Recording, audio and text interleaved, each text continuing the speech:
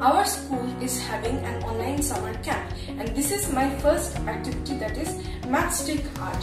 This matchstick art is really fun and I love it.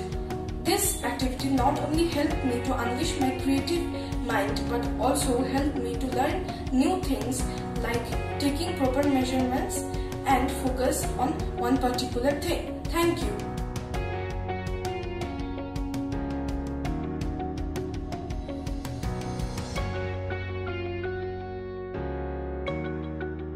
Today I am going to tell about the summer camp, what we are learning from our summer camp and how summer camp is helping to us.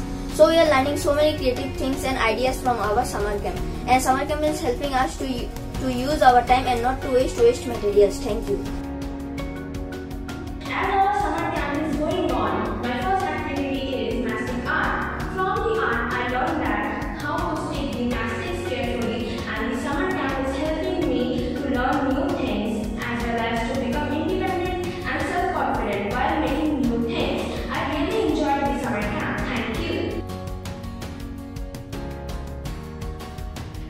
All know that camp is a special camp organized in the summer season for children. So on these days I have made one activity that is the village scenery painting made up of matchsticks.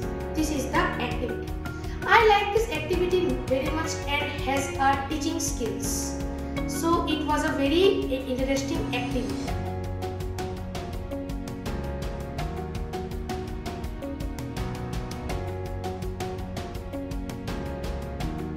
Today I am going to share some words on my summer camp activity matchsticks art. It was one of the best activity that I have ever done. It is an activity that can bring out anybody's creative ideas and you can go through any of the designs that you like and you can make it.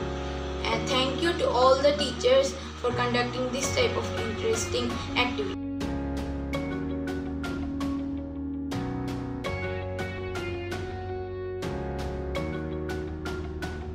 This is a matchstick art. It is made up of beautiful vibrant colors and matchsticks.